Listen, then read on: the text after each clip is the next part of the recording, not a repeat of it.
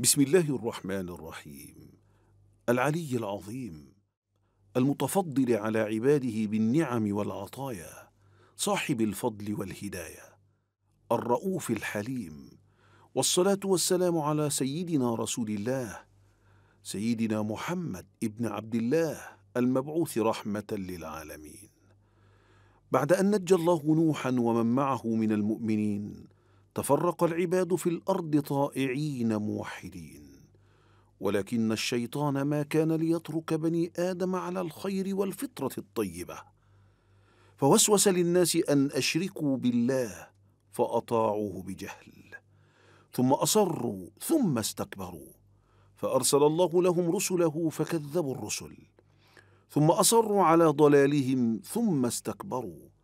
وهكذا كان حال قوم عاد الذين بعث الله فيهم رسولا منهم ليهديهم لصالح العمل فأبوا إلا الضلال. وفي مدينة إرم كان لنا مثل جلي في لطف الله بعباده حينما بعث فيهم نبيه هودا عليه السلام فكان لهم من الناصحين واصطبر على نصحه لهم فكذبوه. فما كان عاقبة المكذبين.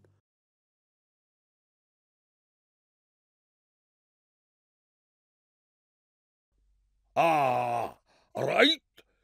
هذا هو دمدم الذي حدثتك عنه كثيرا يا صدد. إنه كما وصفته بالفعل يا شداد وسينفعنا كثيرا في حروبنا مع الأعداء. هذا إن وافق. فهو فارس متقلب المزاج. إذا فلتدعوه في الغد إلى قصر الجبل ولنعرض عليه الأمر. سأرسل له اليوم فلو وافق سيكون السهم النافذ في قلب أعدائنا. وهود هو ابن شالخ ابن أرفخشد ابن سام ابن نوح عليه السلام. وكان عاد يسكنون الأحقاف ويقال للعرب الذين كانوا قبل إسماعيل عليه السلام العرب العاربة وهم قبائل كثيرة نذكر منها عاد وثمود. وكان قوم عاد هم أول من عبدوا الأصنام بعد الطوفان وكانت أصنامهم ثلاثة صد وصمود وهرى. فبعث الله فيهم أخاهم هودا عليه السلام.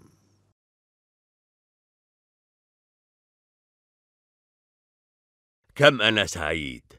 ونحن قد شارفنا على الانتهاء من تمثال الإله صمود. ستتزين أسواق إرم بهذا الإله العظيم. الفخر لنا يا صديقي. الفخر لنا جميعا. سيكون هذا التمثال العظيم من أكبر وأعظم كل تماثيل إرم سيزوره كل الناس يعبدونه ويعظمونه. سيسعد سادة إرم كثيرا بما صنعنا. لقد وعدوني بمكافأة عظيمة حين الانتهاء. ألفي قطعة ذهبية لكل واحد فينا. هكذا كان الوعد. إنه عطاء عظيم ونحن نستحقه.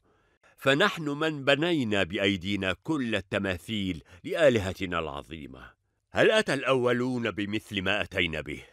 هل استطاع أحد غيرنا أن يسخر الجبال فيبني بيوته وقصوره فيها سوانا؟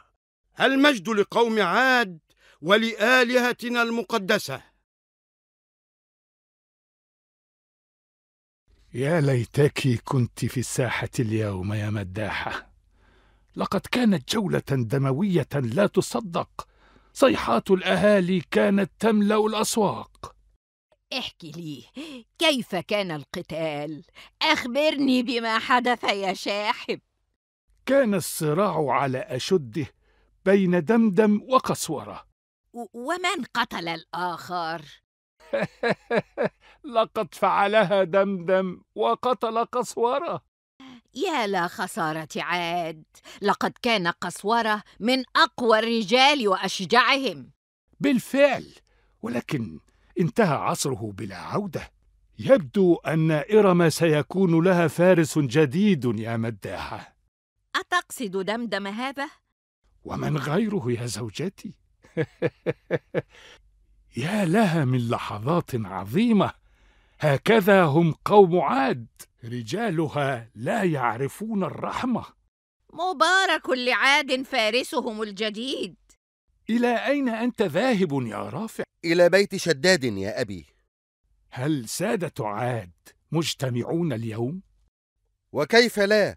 وهم على موعد مع فارس عاد الجديد. ما كان لشداد أن ينتظر للغد حتى يأخذ بيعة دمدم له بالطاعة وقبول الانضمام لجيشه. بالطبع. ومن سيكون هناك؟ كل سادة عاد. لن يغيب أحد اليوم. فهذه ليلة خاصة يا أبي. على أي حال اذهب أنت الآن وعندما تعود احكي لي عن كل شيء حدث. وليكن عمت مساء يا أبي. عمت مساء يا أمي. في رعاية صمود يا ولدي العزيز. حفظتك آلهتنا.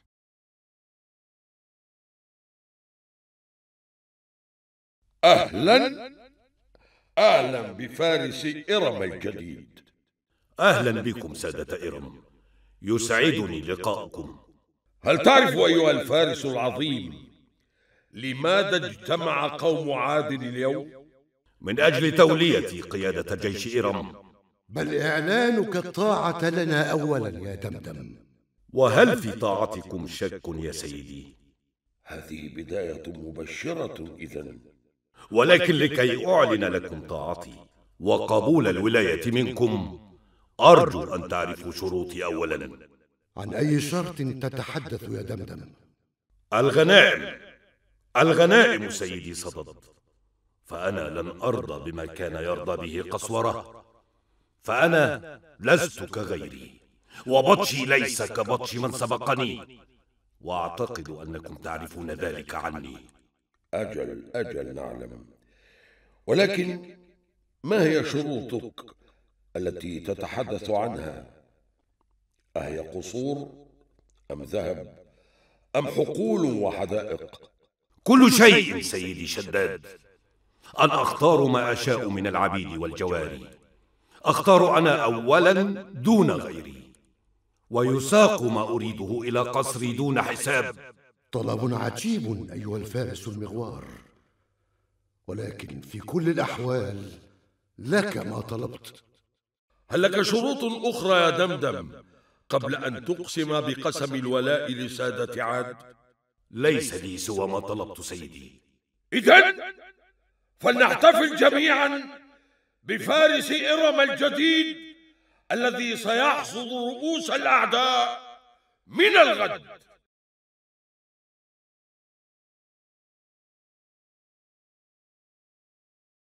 يا قوم عاد آن الأوان لتسعدوا برؤية هذا الإله العظيم تمثال الإله صمود إلهنا الأعظم.